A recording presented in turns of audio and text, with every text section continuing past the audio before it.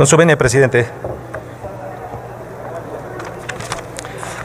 Eh, en esta propuesta que están sugiriendo modificar, nosotros desde el Grupo Parlamentario de Movimiento Ciudadano iríamos a favor.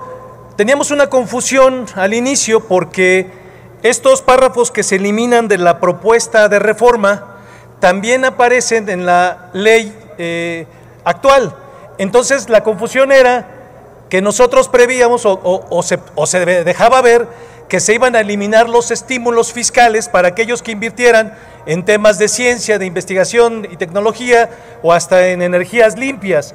Eh, nos parecía grave eh, verlo desde ese punto de vista. Un poco, si se pudiera nada más también matizar cuando se está eh, presentando este documento, pues hubiera hecho falta precisar que se eliminan de la propuesta eh, original, no, que no se eliminan de la propuesta original, sino que se eliminan de la propuesta de reforma. Y esa es la parte que nos causaba eh, confusión. Creemos que en, la, en algunos fragmentos de la propuesta de reforma incluso endurecía el trato a los estímulos fiscales.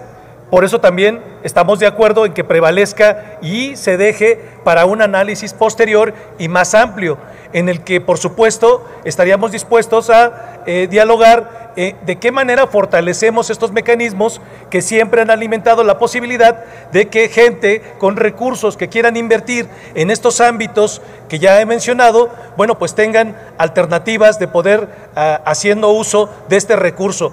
Y además nos preocupaba también el hecho planteado de que pudiera eh, ponerse candados como estaban previstos en algunos fragmentos de esta propuesta, que parecieran más eh, rigidez eh, y menos flexibilidad a los que tienen un crédito fiscal y que por lo tanto nos asustaba que dijera que se iban a eliminar, que pudieran diferir incluso a 10 años el poder ampliar estos créditos, pero repito, me parece que esto se debió a que pudimos eh, prever que pudiera ser que se eliminaran de la ley original y no de la propuesta de reforma. Si es en ese sentido, Movimiento Ciudadano acompaña, acompaña esta propuesta de modificación porque me parece que eh, dejaríamos tiempo para revisarla y que prevalezca como está en el sentido original y así eh, me parece que seguimos beneficiando con estos estímulos a quienes invierten en estas áreas de conocimiento. Es cuanto, presidente. Gracias.